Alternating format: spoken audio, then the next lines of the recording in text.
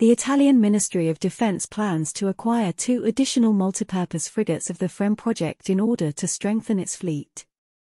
This information is contained in the government's defense procurement document. The order for the new frigates is part of a strategy to strengthen the surface fleet and was made possible by the sale of two similar ships to Egypt in 2020.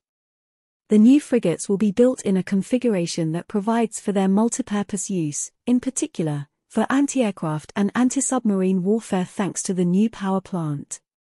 Funding for the 11th and 12th frigates will come from defense funds in 2024 to 2025, and construction of the ships will begin in 2025 and 2026.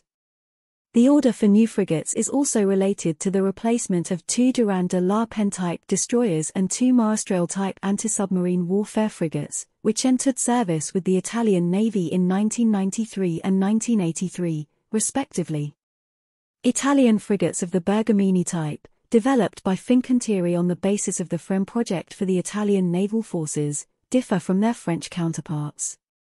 The Italian version uses other radioelectronic equipment, in particular, a Leonardo Kronos Grand Naval Multifunction Radar Station with an active phased array antenna. Due to the high location of the radar screen, the Italian version has improved detection capabilities of low-flying targets at long distances, as well as an extended radio horizon. Italian frigates also received new weapons, in particular, Otomat anti-ship missiles developed by the Italian company OTO Melara and Matra. At the moment, there are eight frigates of the FREMM project in the Italian naval forces, which, together with destroyers of the Orizzonte type, form the basis of the country's modern surface fleet.